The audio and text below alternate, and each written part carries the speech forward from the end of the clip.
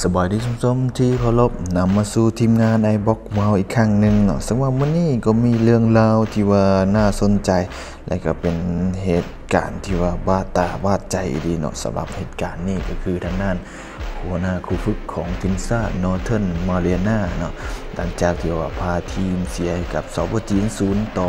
11 ไปแบบเห็นฝุ่นก็ได้เนาะและการนัดต่อมาก็ยังเสียให้กับออสเตรเลียไป0ต่อ 23 เหตุให้รวมผล 2 นัด พาทีมเสียไปถึง 34 ประตูในการขันบาเตะสิงแซมแห่งชาติอาซีหุ่นอายุเกิน 17 ปี ประจำปี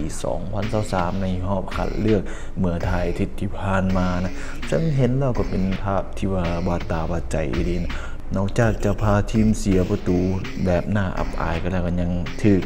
แฟนบานมีการล่าและการการวิจารณ์ตำหนิกันอย่าง ให้ไทยครูฝึกต้องลังน้ำตาเนาะในวิธีแถลงข่าวถึงว่าหลายๆคนก็อาจจะเห็นกันแล้วภาพนี้ได้มีการแชร์กันโซเชียลอย่างสนันวันไหวกันในในสองสามมือที่ผ่านมาสมมุตินี้เขาจะไปเบิ่งข้อมูลเล็กๆน้อยๆนะครับไปเบิ่งเหตุและผลที่ว่า อาจเป็นเหตุให้ทีมชานี่ผลงานตกต่ำก็เป็นได้นะเดี๋ยวเราไปเบิ่งรายละเอียดกันก่อนนะก็คือในรายการนั้นก็เป็นการแข่งขันวานเตะซิงเซนแห่งชาติอาซีหุ่นอายุเกิน 17 ปีประจำปี 2023 ในหอบคัดเลือกที่ว่าจบไปท้ายทิศที่ผ่านมา ก็คือทานมิซิเทรุมิตะนะหัวหน้าครูฝึกชาวญี่ปุ่นก็พาทีมนอร์เทิร์นมารีนา อายุเกิน 17 ปีเสียให้กับซอปจีน0ต่อ11 เสียให้กับออสเตรเลีย0ต่อ23เหตุรวมผล 2 นัดเสียไปถึง 34 ประตูนอกนั้นในนัดสุดท้ายยังเสียให้กับทีมชาติกัมพูเชียไป 0 ประตูต่อ 4 นั่นเองนะหลังจากที่ว่าเลยเข้าห้องแถลงข่าวนะทางมิตะเพิ่นก็ได้มีการให้สัมภาษณ์พร้อมกับน้ำตา โดยเพิ่นกล่าวสั้นๆว่าขอยฮู้ว่าพวกเฮาเป็นทีมน้อยๆได้คอยเห็น ทุกความคิดเห็นใน Facebook ที่บอกว่าพวกเราควรอยู่ที่นี่ แต่ว่าการแข่งขันเรานี่มันสำคัญกับพวกเราหลายสำคัญกับนักเตะทีมน้อยๆของพวกเราเนาะและพวกเราพยายามแต่พัฒนาบาดเตะของพวกเราเพราะพวกเราใส่บาดเตะเพื่อพัฒนาชุมชนของพวกเราแน่นอนนักเตะทุกคนต้องการแห่งกระตุ้นและสานฝันให้กับนักเตะเนาะจากนั้นก็เป็นบทกล่าวของทางครูฝึกเนาะเพิ่นก็มีการกล่าวในวิธีแถลงข่าวพร้อมด้วยน้ำตานั่นเอง ซึ่งก็เป็นเหตุการณ์ที่ว่าทำให้จิตใจกันดีเนาะนอกจากว่าเพิ่นจะพาทีมเสียแล้วก็ยังถึกตำหนิวิจารณ์อย่างหลงหลายใน Facebook ใน 2-3 มือที่ผ่านมาอย่างสนันวันไหวกันเลยเนาะเดี๋ยวเราไปเบิ่งช่วงพูดคุยกันเนาะเกี่ยวกับเหตุผลที่ว่าอาจจะเป็นเหตุผลสำคัญที่ว่าเหตุทีมชาตินอร์เทิร์นมาริมาเนาะ เสียกันอย่างยับเยินกันเลยเดี๋ยวมาเบิ่งกันประเทศนอร์เทิร์นมาเรนาเนาะมีประชากรเพียง 57,000 คนเนาะในปัจจุบัน โดยมีนักเตะที่ว่า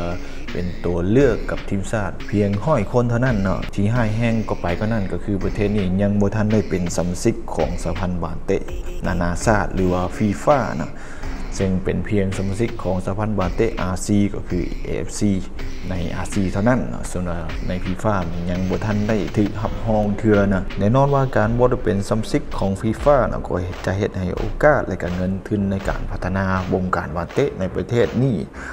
น้อยไปเนาะเนื่องจากว่าบรรดาประเทศที่ว่าได้เป็นสมาชิกของฟีฟ่าจะได้รับเงินก้อนใหญ่ในแต่ละปี ที่สำคัญก็ยังได้รับโอกาสข้าร่วมแข่งขันหลายๆ รายการเนาะที่ว่าทางฟีฟ่าเพิ่นจัดขึ้นเนาะซึ่งนี่ก็เป็นโอกาสสำคัญหลายสำหรับนักเตะที่ว่ามีจะจะได้มีโอกาสพัฒนาต่อไปเนาะ เดี๋ยวเรามาเบิ่งอีกหนึ่งเหตุผลที่สำคัญก็คือในประเทศนี่ก็มีการขันในลีกมันค่อนข้างที่ว่าบ่หลายปานใดเนาะซึ่งว่าเพิ่นก็มีการขันเพียงลีกหนึ่งเท่านั้นก็คือใน M League Division 1เริ่มต้นแข่งขันตั้งแต่ปี 2012 ถึงปี 2019 ซึ่งมันยังบ่ทันแข่งขันเป็นแบบลีกเทื่อเนาะเพราะว่ามีการขันเพียงรอบเดียวก็คือรอบคาไปเท่านั้นก็จบการแข่งขันนะ ซึ่งสถิติในปี